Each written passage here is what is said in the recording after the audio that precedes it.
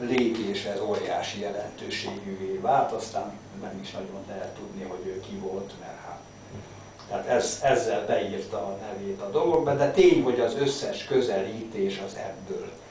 a közelítésből adódik.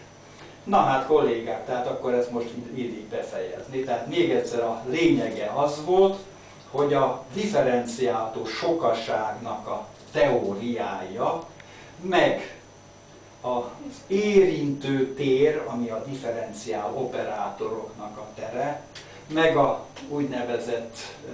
differenciál formáknak a tere, ami hát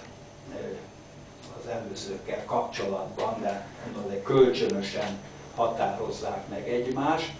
Ez lehetővé teszi, hogy a későbbi mennyiségeket, azokat hát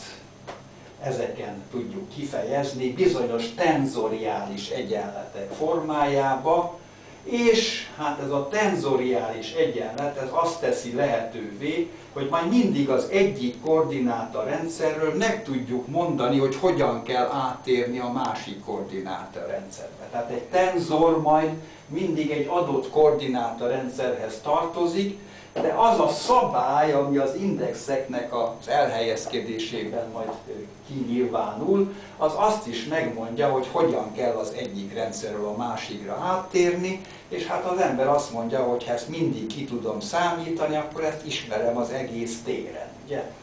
Tehát ez lehetővé tesz, úgy mondják, hogy a koordináta rendszertől független törvényeknek a megfogalmazását, már pedig Einsteinnek ez volt az alapgondolata, hogy nincsen kitüntetett koordináta rendszer, tehát a természet törvényeit muszáj ilyen tenzor alakban kifejezni, mert ez garantálja, hogy független a koordináta rendszer. A múltkor elmondtam, ugye, hogy azt az alapvető tényt, amit hát ötvös Lorántól vettünk, hogy a gravitációs és az úgynevezett tehetetlen tömeg az arányos egymással, egyenértékű, vagy hát valamilyen módon, és ezt 10 a mínusz nem tudom néhanyatik nagyságrendi most már ki tudják mutatni. Tehát azon múlik a dolog, hogy ha valaki benne ül egy kabinba, ugye, és nem lát ki belőle, akkor nem tudja megkülönböztetni azt, hogy valami szellemkél azt a kabin elkezdi gyorsítani fölfele például, vagy pedig az, hogy alá tesznek egy nagyon nehéz testet, a gravitációs. Hát ez persze olyan, hogy mondja, annyira teoretikus ez a kérdés, de állítólag a nagyon finom és tényleg most már ilyenek vannak, ilyen finom mérésekkel ezt, ezt lehet mérni is, csak hát nagyon hipotetikusak a mérések. Tehát ez a ez a dolog, amit hát mondom ötvös Lórán csodálatosan kimért az ötvös ingájával, Einstein megtette az elméletének az alappillérének, és a múltkor mondtam, hogy a ötvös Lórán nem is tudom, hogy találkozott Einsteinnel, szóval, szóval nem, nem tudtak van igazán egymásról, mert ötvös Lórán egy teljesen klasszikus fizikus volt, tehát a mechanika, meg a, az ilyen, tehát a gravitáció, meg a, az ilyen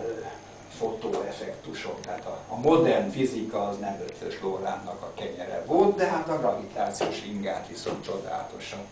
tudta népszerűsíteni. Úgyhogy a jelentőség az tényleg óriási, csak hát nem, nem tekinthetjük a modern fizika atyának, pedig az ő felfedezésé múlik ugye az egész